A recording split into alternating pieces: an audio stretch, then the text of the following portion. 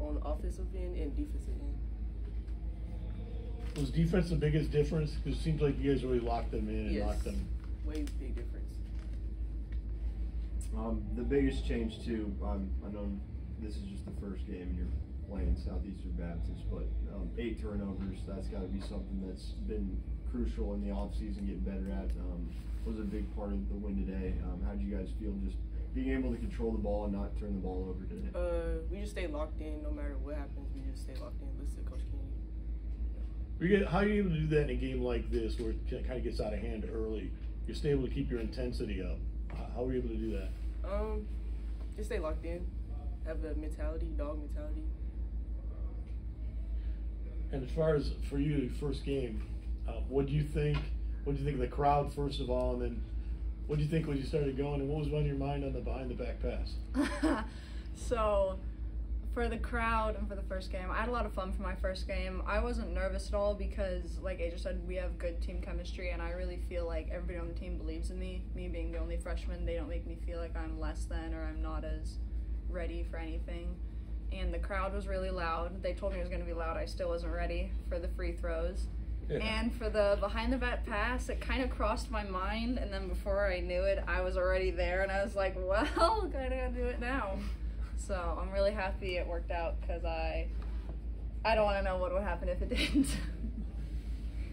Um, it seemed like a lot of your pace in the game. Also, you start hitting threes later in the game, but um, came from attacking the rim. Um, you guys just did a really good job in transition, getting to the bucket and trying to get easy shots at the rim. Um, do you feel like that's going to be a big emphasis all year for you guys, just to get into the rhythm of your offense early? Yes, yes. Big emphasis. For you and, and players like Boston that stayed from last year, how much difference is it in practices now at the competition level, and how much better are you getting through practices? I get better every day with them coming in. Um, yeah, that's all. How, how much are you guys looking to get 100? Were you thinking about that? well, Coach Kenny says he's not the kind of coach for a goal to be 100. The goal is to just execute and play hard, and if 100 happens, 100 happens. And it didn't happen today, but we still got our stuff done. Are you guys, when when you talk about athleticism from last year to this year, you look more athletic, Boston looks more athletic, the players that were here look more athletic. How much did the offseason matter to you guys? It mattered a lot.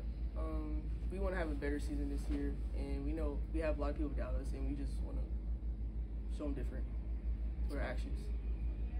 Um, Coach talked about it a few days ago, but the schedule's kind of set up for you guys to be able to kind of figure things out really well, and you guys kind of have in a, week or so have a week to practice then as well. Um, how important is that going to be for you, especially with a lot of returning players? And I'm trying to get everybody obviously that chemistry built up.